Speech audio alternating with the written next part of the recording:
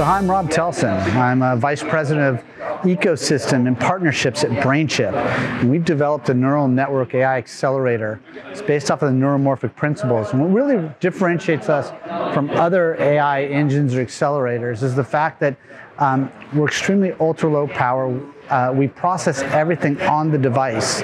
So that provides levels of security and privacy that other technologies don't provide. But most importantly, we do one-shot learning or on-chip learning on the device.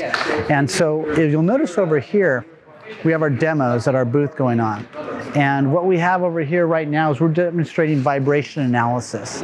And what we're doing here is we're highlighting the fact that you can use our technology, which we call Akida, and you can recognize defects and use that for predictive maintenance. And you'll see that in vehicles, you'll see that in industrial applications, and you'll see that even on our mobile devices and our devices in the home in the future.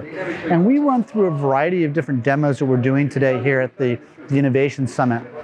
And besides predictive maintenance, uh, this is my favorite one, it's beer tasting. And it's more than just about beer tasting, we're really recognizing and highlighting the differences in different compounds or gases.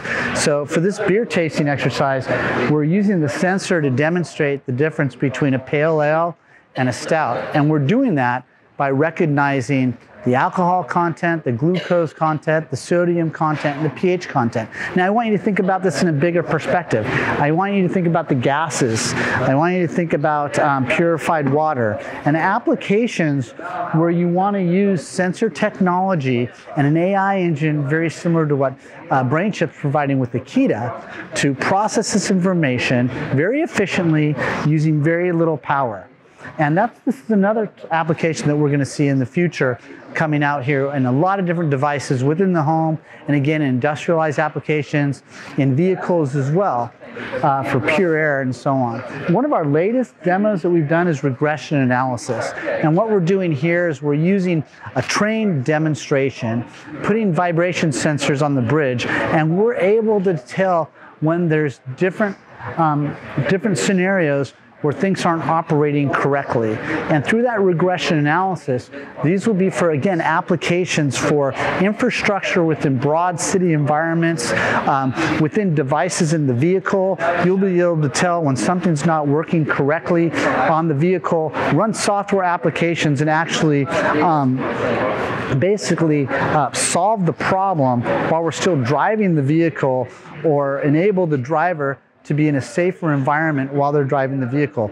And this is all happening because we're using uh, BrainChip's Akida technology. These other technologies can't do all the things that we've just shown, such as the beer tasting or recognizing different compounds, and the two vibration, the regression analysis and the vibration demo. This is gesture. And what we're doing here with our partner Prophesee is we're using a DVS camera to recognize different gestures. But what's unique about this is we trained these gestures on the device.